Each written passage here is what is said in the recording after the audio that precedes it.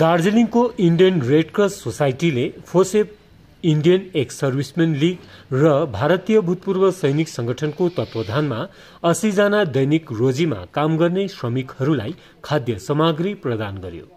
विशेष कोरोना भाइरसको कारण अधिकांश दैनिक रोजीमा काम गर्ने श्रमिकहरू बेरोजगार जतिकै भएको विषयलाई ध्यानमा राखेर नै रेड क्रस सोसाइटीले यो कार्य गरेको बताइएको छ।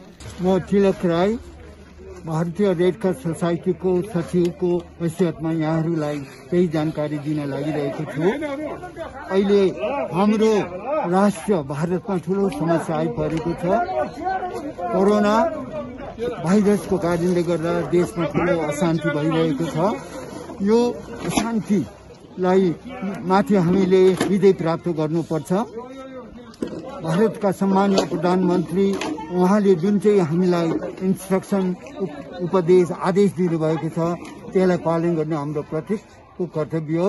यही उद्देश्य लिएर भारतीय रेड क्रस सोसाइटी दार्जिलिङ शाखाले बिलो पोभर्टी लाइनका मानिसहरूलाई गरिब मानिसहरूलाई हामीले केही खाद्य दाल चामल नुन तेल चिनीहरू वितरण गरिरहेको छौँ।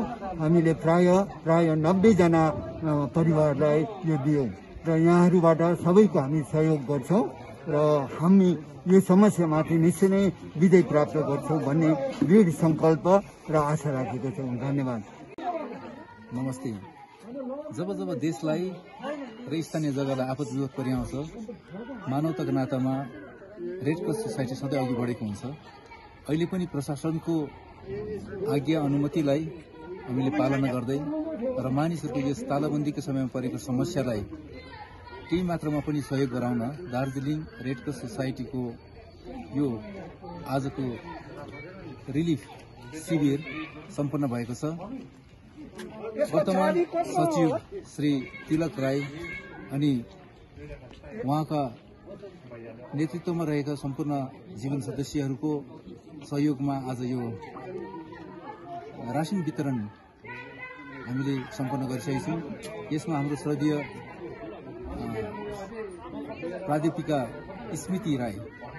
जो अग्रपन्थीमा खटेर यस कार्यलाई सम्पन्न गर्नुभएको छ। उहाँप्रति पनि रेड क्रसले आभार प्रकट गरेको छौँ हामी किनभने सहयोग गर्नु एउटा ठुलो कुरो हो तर म्यान पावर दिनु सश्रम सहायता पुर्याउनु अर्को कुरो हो जुन चाहिँ कुरो चाहिँ यहाँ आज हाम्रो कोषाध्यक्ष महोदय श्री स्मृति राईले हो पूर्ण गर्नुभएको छ। अनि आज लगभग हामीले सयजना जति रासिन लिन आउनेहरूलाई जति हाम्रो स्टकमा थियो त्यसले पुरा गरेका छौँ।